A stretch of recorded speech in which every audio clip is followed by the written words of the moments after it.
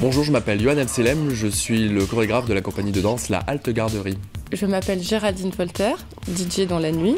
Je mixe depuis une bonne dizaine d'années. Je mixe en club.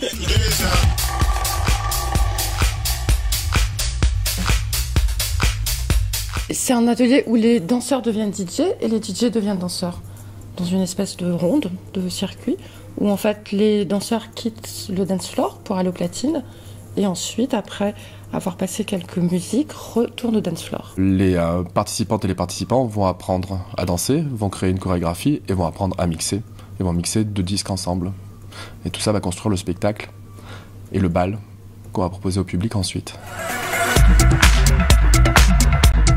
Ça va de la musique électronique, de la musique électronique plutôt minimale ou différents styles, ce qu'aimeront les participants, mais ce sera surtout des disques qu'on peut mélanger et qu'on peut jouer ensemble.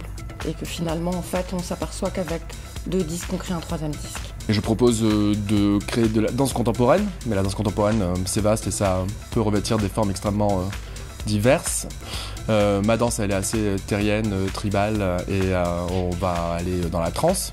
Mais au-delà de ça, chaque participante et participant va être créateur aussi de, son, de sa danse, sa partition. Donc ce sera la danse contemporaine métissée.